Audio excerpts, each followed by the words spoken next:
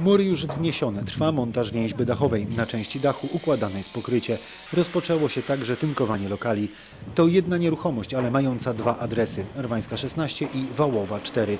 Łącznie powstanie tu 12 lokali biurowo-usługowych, w tym jeden już przeznaczony na Centrum Informacji Turystycznej. Lokali mieszkalnych nie będzie, ponieważ tutaj e, jest to współfinansowane z, ze środków unijnych, z systemu zwrotnego, instrumentu zwrotnego Jessica i Jessica nie przewidywała lokali mieszkalnych. Lokale biurowo-usługowe będą wynajmowane, bo to także jest wymóg projektu. W tej chwili, jak zdradza Mariusz Mróz, już około 40% lokali jest zarezerwowanych. Trwają kolejne rozmowy.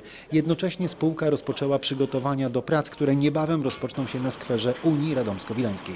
Już ogłosiliśmy przetarg na e, odtworzenie murów e, w skwerze, który tutaj jest za nami. E, Murów e, z dwiema basztami, e, plus do tego e, te kwestie budowlane, czyli chodniki, ławeczki. E, To wszystko będziemy chcieli też również mniej więcej wrzesień, październik wykonać. E, Plus do tego nowe nasadzenia, nowe za- zakrzewienia, W tym samym czasie powinna być już także gotowa kamienica Rwańska 16 i Wałowa 4.